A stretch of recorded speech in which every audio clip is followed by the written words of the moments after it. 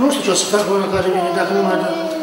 Sunt terminat la pensia mea de 4 milioane și 800, sunt terminat. Probabil putem la înțelegere. Și la mic poate îi trebuie ceva de dușești, de exemplu. El a Kosovan, a dat 100 și ăla de sau 14 lei.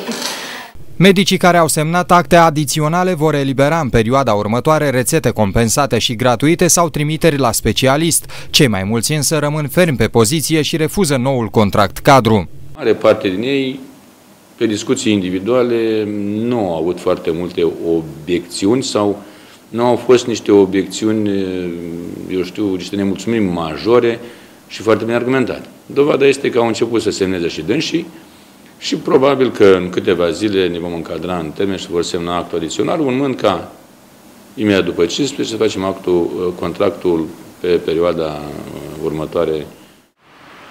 Patronatul medicilor de familie susține că cei care au semnat acte adiționale împreună cu Casa Județeană de Asigurări de Sănătate au trădat interesele Breslei.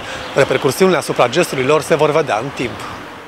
În demersul lor de a protesta împotriva noului contract cadru, medicii de familie și-au câștigat simpatia bolnavilor. Aceștia îi condamnă pe cei care au semnat.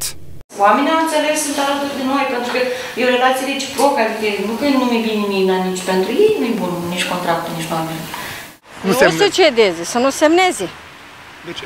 Păi da, ei cu, de unde să-și plătească salariații? Și uh, au și ei acolo niște cheltuieli. Uh, la cabinetele alea, nu? Uh, lumină, iarna, uh, căldura, nu?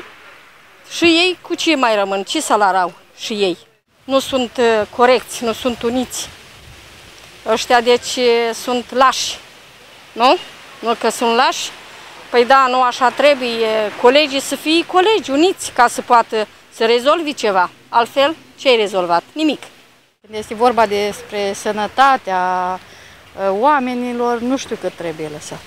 Să se adune toți medicii la un loc, să solidaritate. Solidaritate. Este vorba de, de bătrânii noștri, care mai devreme sau mai târziu fiecare vom ajunge la această vârstă.